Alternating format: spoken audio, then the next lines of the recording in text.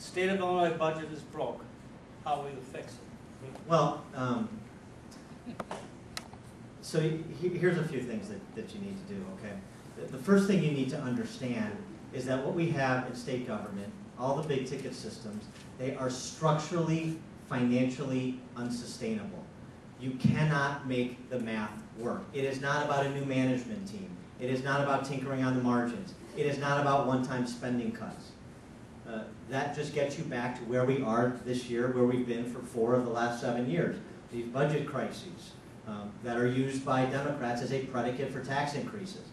Uh, In the short term, a- few things. One is, we got $8.8 billion in federal stimulus funds that are coming to this state. Okay, and Illinois is a donor state. In other words, we send more to DC than we get back in return. So this is our money.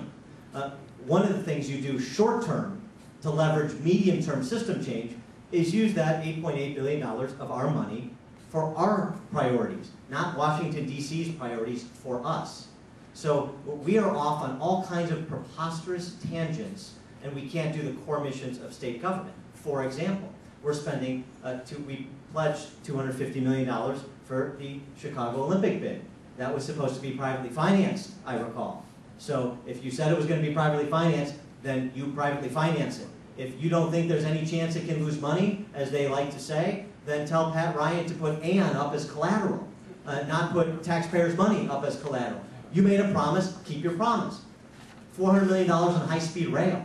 It, it, from Chicago to St. Louis, that is. The part, part of uh, uh, Barack Obama's Simpsons episode-like public policy, where we're going to have this Midwest uh, network of high-speed rail going from Chicago to St. Louis to Toledo. Because you know the real problem in Illinois? You know the real problem in this region? We can't get to Toledo fast enough. $400 million on high-speed rail. It isn't even high-speed rail. It goes 30 miles an hour faster than Amtrak. We don't have the infrastructure for high-speed rail. So I'm going to spend $400 million as a down payment on $9 billion to get to St. Louis 30 minutes faster? I don't think so. Uh, Bob was talking about our airport system. We're spending $110 million to buy up land in Peotone for a third airport that's never going to come. That's not a wise uh, uh, prioritization of spending either. You have to talk about, you have to look at that money that we have and fill the budget gaps that we have short term to get about medium term system change when it comes to Medicaid, transportation infrastructure, K through 12 system, and our unfunded pension liability. Um, the other thing you need to do is make clear definitions of what government should be in the business of and what it should not be in the business of. And I am somebody who does not believe that government should be in the business of gambling. Um, they run enough numbers games without trying to do it professionally.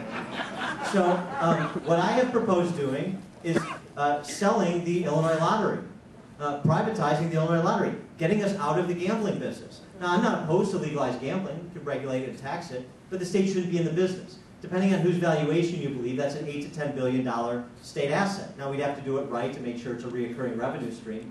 But that also helps you, number one, finance my wonderful tax cuts and spending caps, which, of course, there's a lag effect before you realize the economic impact of both of those policies. But that gives you that leverage that you need. So it's a combination of system change for these big ticket systems, it's using our money back for our priorities in the short term to leverage medium term system change and decide what government should be in the business of doing and what it should not. And the, the last thing I'll go, just to give you a sense of, of, of system change, because we haven't talked a lot about this, Medicaid. It's not about privatizing it so much, but the 1.7 million Medicaid patients in this state, you know what the big scam on them is?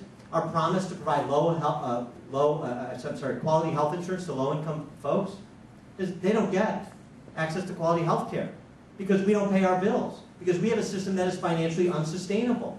We're going to pay, we're going to spend 25% more on Medicaid this year than we did just three years ago. In 10 years, if we do nothing to change the system, it will consume half the state's budget. You can't make the numbers work.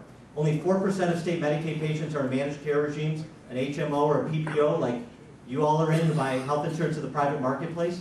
We need to move them into managed care, but that is a first step.